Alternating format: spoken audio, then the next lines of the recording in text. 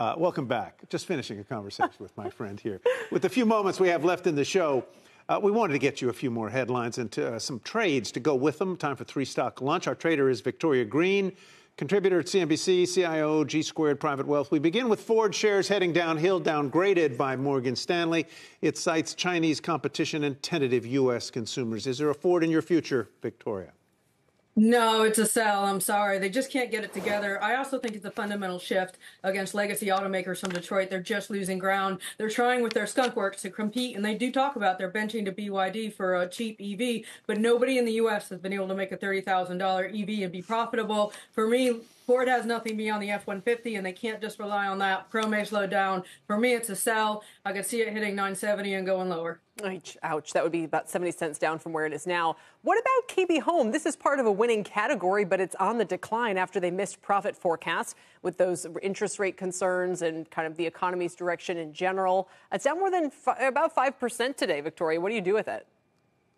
I'm buying the dip. They have really strong up channel support here up and through 74. There's 50 day moving averages holding here. I could see this stock continue to push higher, potentially in the 95 to 100 by year end. Mortgage rates coming down. 49% of their buyers are first time home buyers. That's a huge market for them to play in. They actually had a very upbeat and optimistic 2025 forecast.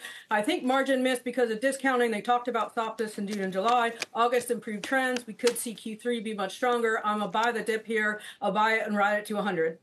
All right, and finally, we got your DoorDash. Shares are higher today on an analyst upgrade. KeyBanc tags the stock overweight. In this case, I guess that's a compliment, citing ongoing gains in food and grocery delivery. Your trade, Victoria, on the Dash. It's a hold for me. I love this stock, but it's hard to buy here. It's super expensive. I own it. I want to hold it. I think they have such a diversified revenue stream. They actually just announced a new merchant platform coming out today, trying to get more and more merchants in beyond restaurants. So they're looking at grocery, they're looking at retail. They want you to go pick up the dog food and get it delivered to your door. They're much more of a pure play in the retail delivery. And I'm not going to deny, we are all getting lazier and we absolutely love things being delivered directly to our doorstep via one click. DoorDash is great at that interface. For me, this is a hold. It's just really hard to buy and start buying here at this level. Don't let Jillian Michaels no, yeah, hear that. Jillian Michaels Victoria. Are lazy. We're lazy. We want our processed foods delivered without having to get off the couch.